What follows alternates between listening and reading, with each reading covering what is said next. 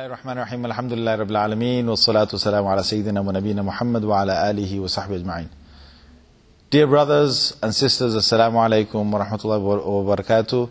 Now, you, you must have had certain videos that were forwarded to you on your, on your social media, uh, certain videos you probably watched on the internet, and certain images you probably come across in the news channels or through the news channels to do with our brothers and sisters across the world. Whether it's going to be Palestine, Palestine, whether it's Syria, uh, whether it's to do with Iraq, whether it's to do with Kashmir or to do with an African country, wherever it is in the world, I just want to say to you that if you watch a number of videos, even a few videos where there's blood being spilled, where people are crying and people are having their homes demolished or people are running scared from bombs that are dropping or people are really you know miserable i have to say yes we care for them.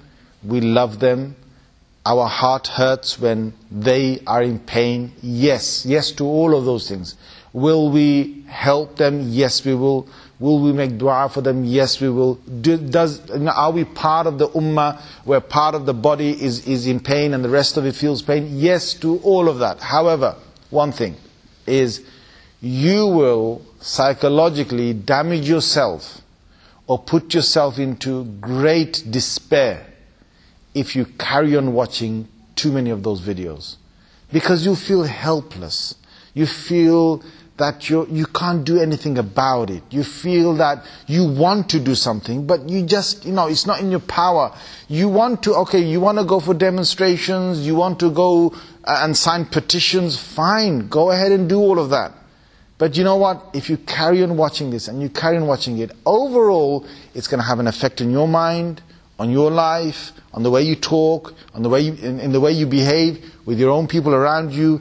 It'll cause some form of depression or some form of stress in your life and your daily routine, you'll feel that you're being, you know, you're, you're weighed down. You're weighed down. Now, there was no reason for this.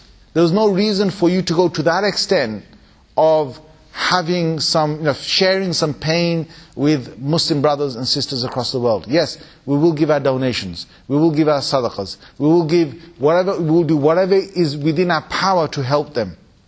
But what I've found is there are adults and there are youngsters. Um, they, they get affected in different ways, okay? Adults who watch a number of these videos turn to start moaning a lot, start to becoming, start to snap, you know, uh, with, with a short fuse inside them and the anger could, could, could sort of go up. These are adults and generally there's, there, there's this kind of a depressive mood that comes across when you, when you meet them. Youngsters, because they've got hot blood inside them and they're more active, they want to go and do something about it. They become energetic and active and so on, which is a good element in them. However, seeing all those videos and then becoming active could actually become the wrong type of, you know, chemicals being mixed in, if you know what I'm trying to say. And they will, they will do something out there that will be detrimental to all of us or may now may cause further harm to all of us. Now, what's the solution to this? Firstly, my brother, my sister, please remember that in Rasulullah sallallahu time, when there were Muslims out there getting tortured, not every Muslim stood there in the room. You know, the whole community of Makkah never came together into one, you know, area and watched there silently, watching someone getting tortured there. That did not happen. Yes, they got tortured in certain places in Makkah, but not every Muslim heard those cries. Not every Muslim saw what happened. They only heard of it from a distant, you know, as a distant news. That doesn't affect you so much. You can carry on doing your du'as. You can, you can, you know, say to Allah, oh, Allah, saying this, you know, change the situation. Yes, they did do that in Makkah. Later on, as the Muslims expanded, they did hear of faraway stories of things happening, but they were not there to see it.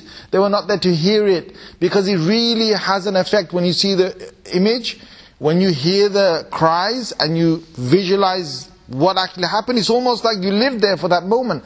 And it will have a massive impact on the way your own psyche works, your own mind works, it will start to cause a depressive mood. Now the short answer to you is, if you're asking, well, what do we do? Okay, make your du'as. Make them daily. Make long du'as. Give your sadaqahs. Do what you can. Do your demonstration, your petitions. Try and, you know, get people to, to, you know, people who are leaders to try and change the situation. Yes. But overall, you need to understand you have a life too. And you've got a family around you.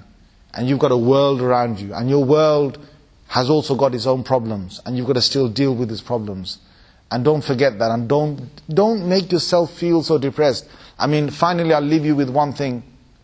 Do you know that even in the midst of the battle of Badr, just before they started, Rasulullah had a moment to share with his with his Sahaba. I mean, front ranked. This is this is an epic moment. You've got you've got the lines that are, that Rasulullah made on one side. You've got the enemies, a thousand of them waiting to have this this battle that might just wipe away the Muslims.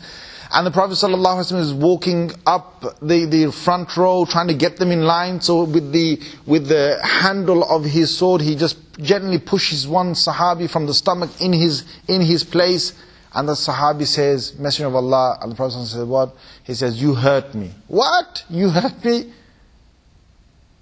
So, Subhanallah al-Azim, what is the Prophet supposed to do? He said, okay, I'm Sahaba, shocked. Well, what is the Sahabi saying? So the Prophet gave him the, the sword and said, okay, take the handle and hit me the same way as, as, as I did. And, and what did the Sahabi do? He came down, he took that, you know, the handle of that sword, and the Prophet ﷺ exposed his, you know, his, his stomach, and this individual kissed the stomach of the Prophet ﷺ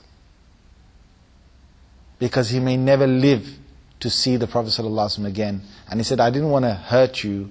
I wanted a, an opportunity to do something that I may never be able to do again. Now, this is just at the beginning of a battle. They still keep their minds focused on things about love, things about real people. You know, they, they might die. They might die in the next few months.